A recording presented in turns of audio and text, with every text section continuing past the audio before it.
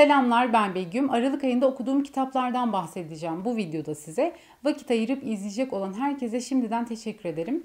Bu kitaplar 2020'nin son kitaplarıydı, son okumalarıydı. Bu nedenle ben özellikle uzun zamandır aklımda olan kitapları okumak istemiştim. Ve bunlardan bir tanesi de İtalyan yazar Dino Buzzatti'nin Tatar Çölü isimli kitabıydı.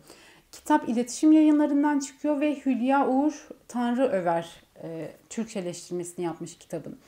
E, şimdi bu kitap genç bir subayın ilk görev yerine gidişini ve akabinde gelişen olayları anlatıyor bize. Ama e, olaylar değişime bakmayın aslında oldukça duran bir anlatım var. Bunu hem olay akışı anlamında söylüyorum hem de anlatım itibariyle söylüyorum. E, görece kasvetli, karamsar e, bir atmosferde geçtiğini de söyleyebiliriz hikayenin. İçinde bulunduğu koşullar sebebiyle imkanların kısıtlı olması sebebiyle kendi iç dünyasına dönen bir asker bu ve e, kendi iç dünyasında yaşadıkları, içinde bulunduğu e, ortamı ve şartları değerlendirmesini, e, kendi iç dünyasına kabuğuna çekilmesini ve aslında kendi iç dünyasında yaşadıklarını okuyorsunuz kitapta. Onun görevi hayatının anlamı haline gelmiş. Hani bir şeyi hayatının merkezine koyarsın ve e, işler istediğin gibi gitmediğinde hayal kırıklığına uğrarsın ya kalbin kırılır. İşler istediğin gibi gitmemiştir ama e, artık yapacak bir şey yoktur.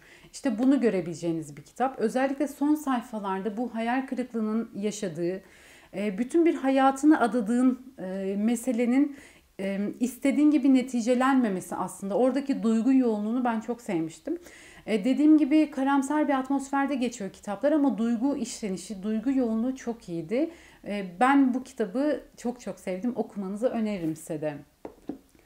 Ee, bu arada Tatar Çölü ile ilgili sanırım Mehmet Eroğlu insanlar e, ikiye ayrılır. Tatar Çölü'nü okuyanlar ve okumayanlar gibi bir ifadede bulunmuş. Ben o kadar iddialı konuşmayacağım kitap için ama e, dediğim gibi e, sevdiğimi söyleyebilirim. Okuduğum bir diğer kitap Magda Sızabon'un Macar yazar Magda Sızabon'un Kapı isimli kitabı oldu. Şimdi ben daha önce yazarın İza'nın Şarkısı isimli kitabını okumuştum ve size ısrarla okumanızı önermiştim. İza'nın şarkısını okuduktan sonra yazarın diğer kitaplarına elim kolay kolay gitmemişti. Çünkü o kitabı çok sevmiştim. Diğerlerini o kadar sever miyim bilmiyordum. Fakat yanılmışım. Kapıyı çok çok çok sevdim. Çok güzel bir kitaptı.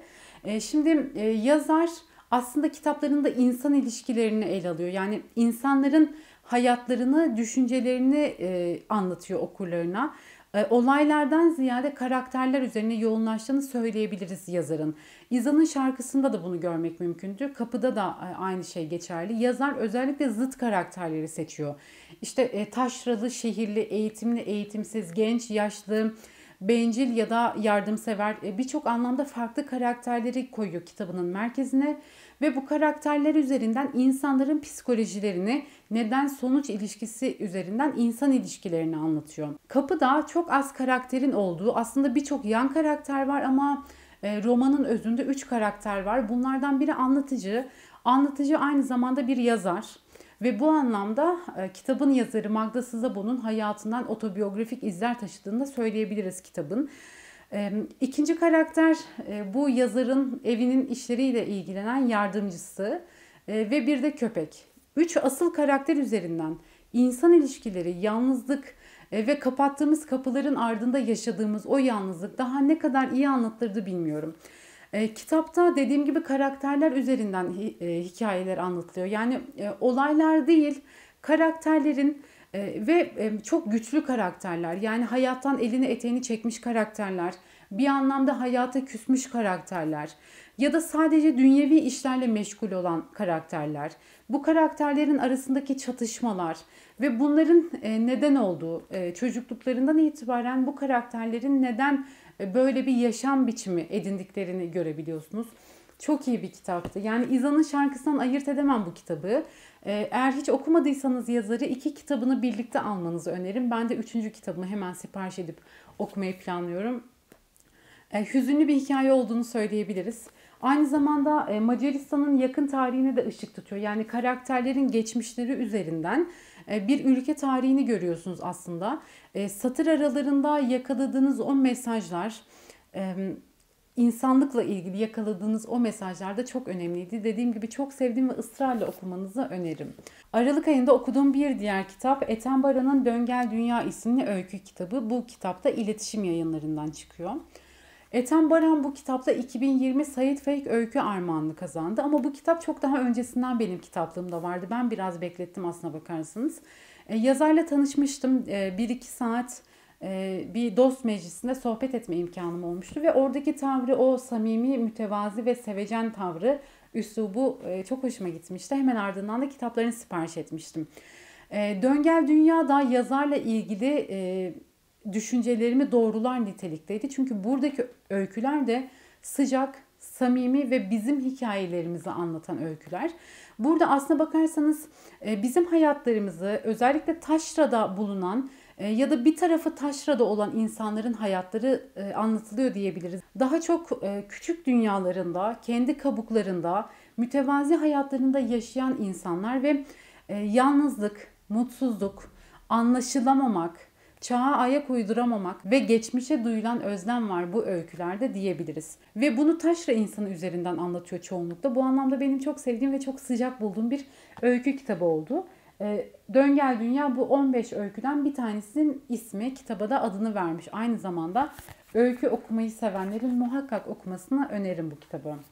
Okuduğum bir diğer kitap Thomas Hardy'nin en karamsar romanım dediği Atsız Sansız Bir Jud isimli kitabı oldu.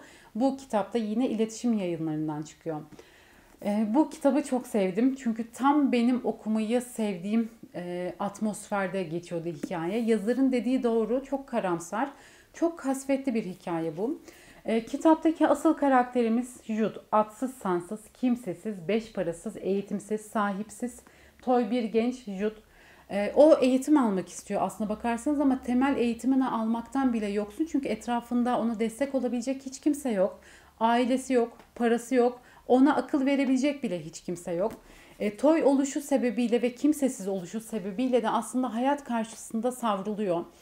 E, ve yanlış kararlar veriyor hayatla ilgili ve bir yanlış karar ardından onlarca yanlış kararı getiriyor. E, hani bazen olur ya bizim hayatlarımızda da bir karar vermen gerekiyordur ve verdiğin karar o an için yapılabilecek en doğru şeydir. Ama aslında içten içe bir e, huzursuzluk yaşıyorsundur. Yani içine sinmeyen bir şeyler vardır. Burada da öyle işte o huzursuzluk e, onların e, psikolojisindeki bu huzursuzluk kitapta müthiş anlatılmıştı. Kitapta yapılan evlilikler üzerinden evlilik kurumuyla ilgili çok çarpıcı ifadeler var. E, sizi şaşırtacak ve döneminin çok ötesinde ifadeler bunlar. E, ben e, okurken bunların o dönemde yazılabilmiş olmasına şaşırmıştım ama kitap zaten Victoria döneminde yazıyor. Yani bu anlamda da çok ilginç ve aslına bakarsanız cesaret istiyor. Yazarın yazarlık kariyerinin sonunu getirmiş bu kitap. Bu aslında kaçınılmaz bir şey o dönem için belki de. Karamsar, insan psikolojilerini güzel işleyen, hayatla ilgili genç bir delikanlının hayat karşısında savruluşu, verdiği yanlış kararlar üzerinden e, hayatının içinden çıkılamaz bir hale gelişini okuyorsunuz. Bu kitapta ben çok çok çok severek okudum. 2020'nin en iyi kitaplarından biriydi. Mutlaka okumanızı öneriyorum bu kitabı da. Okuduğum bir diğer kitap Fakir Baykurt'un Özüm Çocuktur isimli anı otobiyografi kitabı oldu. Literatür yayınlarından çıkıyor bu kitaptan. Fakir Baykurt e, asıl adı Tahir. E, bu kitaplarda kendi hayatını, e, öz yaşamını anlatıyor bize. Öz yaşam öykülerinin, biyografilerin, otobiyografilerin çoğunda şunu görüyorsunuz anı kitaplarının çoğunda. Bu kitaplar daha önce de söylediğim gibi yazarların yaş aldıktan sonra yazdığı kitaplar. Dolayısıyla geçmişe baktıkları, geçmişi değerlendirdikleri ve en net olarak da geçmişe duydukları özlemi görüyorsunuz bu kitaplarda. E, Fakir Baykurt burada çocukluğunu anlatıyor. 1929 yılında Burdur'da doğmuş yazar. Ve çocukluğundaki e, köy hayatını, içine doğduğu evi, ailesini, köy yaşamını, bağda bahçede, tarlada geçirdiği o günleri, akrabalarını ve o küçük dünyasında gördüklerini, ilişkilerini anlatıyor. E, diğer biyografilerden farklı olarak bölüm bölüm anı anı yazılmış bu kitap. Yani bir başlangıç ve bir bitiş yok aslında hatırladıklarını ve özlem duyduklarını anlatmış. Özlem duyduklarını anlattığı için de duygu yoğunluğu çok fazla kitapta. E, ben daha önce Aziz Nesin'in e, otobiyografisini okurken, böyle gelmiş böyle gitmezi okurken hissetmiştim bunu. Ya da görmüştüm diyelim. E, geçmişe duyulan özlem çok güçlü burada ama bu yazarların yani yazarlık kariyerinde başarılı olmuş bu insanların ortak noktası e, küçük yaşlarından itibaren destek görmüş olmaları aileleri tarafından. Fakir Baykurt'un babası da yani 1929 yılında doğmuş bir yazar ve o yıllarda babası ben oğlumu okutacağım, benim oğlum büyük adam olacak e, diyor sürekli. Oğluna güvenini esirgemiyor. Onu o küçük yaşında tarlayı korusun, tarlaya baksın diye gönderiyor örneğin ve bu 6 yaşındaki, 7 yaşındaki bir çocuk için e, özgüven kazandıran bir şey ona. E, ailesinden sevgi görüyor ve bu sevgiyle büyüdüğü için de aslına bakarsanız kendi dünyasında bir şeyleri başarabilmiş olduğunu düşünüyorum ben. E, Fakir Baykurt'un hayatı sürgünlerde geçmiş. E, önemli iyi eserler vermiş. Ee, ve bu kitaplarda da kendi hayatını derlemiş. Birinci kitap bu, Özün Çocuktur. İkincisi Köy Enstitülü Delikanlı, Kavacık Köyü'nün öğretmeni, Köşe Bucak Anadolu, Bir Töz Vardı, Genç Emekli, Sıla'dan Uzakta ve Dost Yüzleriyle de bitiyor. Aslına bakarsanız çok sevdim. Çünkü benim e, Ethem Baran'ın öykü kitabını okurken de hissettim bunu. Bir memleket havası var bu kitaplarda. Ve özellikle uzun süre Türk Edebiyatı okumadığım için ya da azalttığım için son zamanlarda farkına varmadan. Sonrasında bu kitapları okumak aslında ayrı kaldığım memleketime kavuşmak gibi oldu. Çünkü bu kitaplarda aynı şeyi Ethem Baran'ın kitabı için de söyleyebilirim. Güçlü bir dil kullanımı var. Bugün e, kullanmayı bıraktığımız, unuttuğumuz sözcükleri bu e, öykülerde ve e, bu kitapta kullanmış yazarlar. Dolayısıyla da aslına bakarsanız burada zengin bir e, Türkçe ile karşılaşıyorsunuz. Özüm Çocuktur'un arkasında e, bir sözlük var. Yani yazarın e, anılarında kullandığı, bugün kullanmadığımız için bizi açıklamak ihtiyacı duymuşlar. Bu kelimelerin bugünkü karşılığına yer vermişler mesela.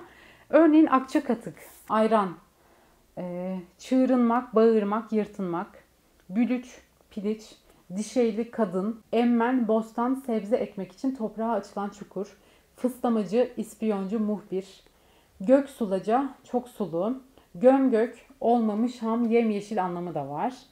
Göveren, sebze, yeşillenen, yetişen, moraran yaralar içinde kullanılır.